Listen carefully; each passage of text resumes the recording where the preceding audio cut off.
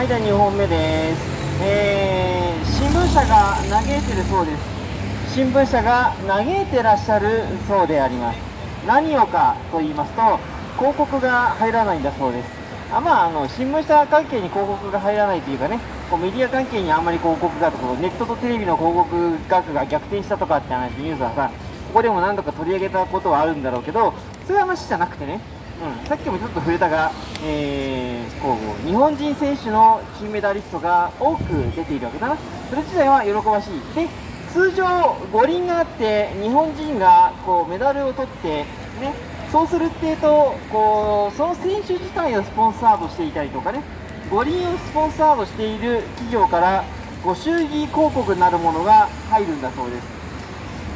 えー、と記事の出元はごめんね、書いてないんで言言わないんですけど、あ違うか、日刊スポーツか、日刊スポーツだな、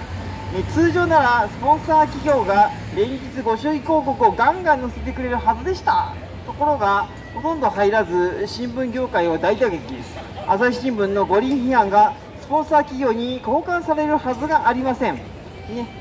うん、まあ実際こう新聞社っていうかテレビっていうかマスコミ関係はさ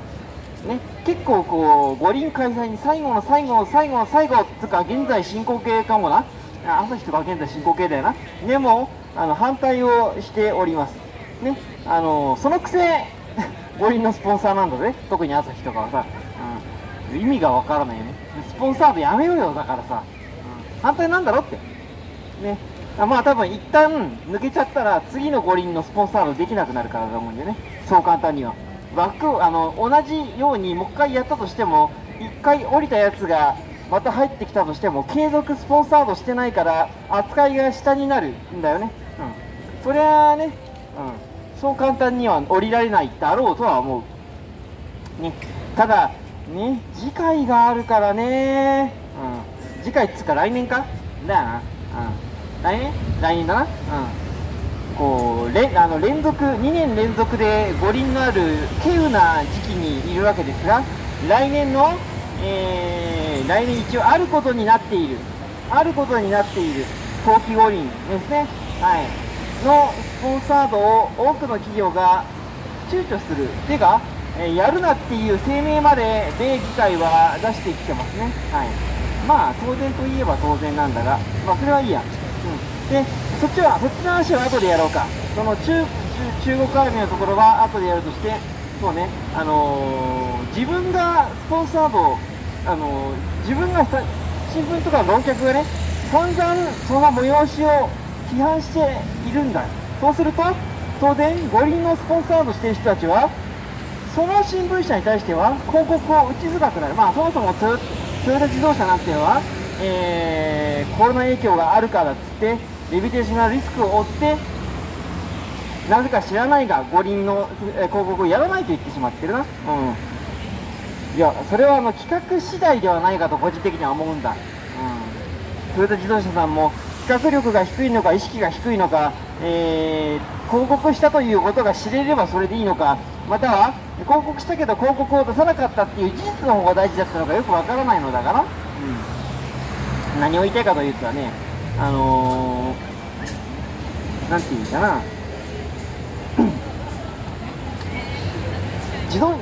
まあ別にどの企業でもいいんだけれどもちょっとまとまんなくなってきたな。まあいいや。うん。結局まあは言いたかったのはねメディア業界がさこうで大打撃だ大大打撃だって騒いでるうちにうん。いやまあだからってね賛成し続けろといいことじゃなかったんだよ。うんあの反対してもよかったんだけど、えーそれには覚悟が伴った痛みが伴うことを知っておかなきゃいけなかったと私は思うんだけれども実際にはそれを痛みとして来ることをなぜか信じていなかった。で最後最後まで反対しちゃってで実際減ったらプギャーって言っているっていうね、うん、いやまあでも開かれた以上あのなんだろうな。あのまあ、トヨタ自動車の気持ちもわかるんだよね、あのレビューティーション率が追いたくないからね、まあ、ただ逆に言うとさ、トヨタ自動車がいまだにさ、五輪のスポンサーであり続ける理由は、実は私にはよくわからないんだよね。スポンサードってさ、要は自分の名前を売りたいとか、そこの会社を、そこのメーカーを応援したい、まあ、レースとかでもね、じゃそうじゃない、ね、あのその選手を応援することで、えー自転事業になったりとか、えー自分のメーカーの名前を売れたりとかすることがメインの目的だよね。うん。あのただ風をさドブに捨てるために広告出してるわけじゃないじゃん。ね、うん、そういうことを考えるとさあのいやスポーツ用品メーカーが五輪をスポンサーするのは大いにわかる、ね、あのまたはこうで家電メーカーとかがあるのもわかる、ね、あとはこう選手村関係で使われている例えば今話題のぶち壊されたで話題のあの段ボールベッドのメーカーがスポンサードするとかもわかる。けどトヨタ自動車がスポンサードすることに果たして何の意味があるんだろうか。と私などは思ってしまうしかもヒットスポンサーなんでね。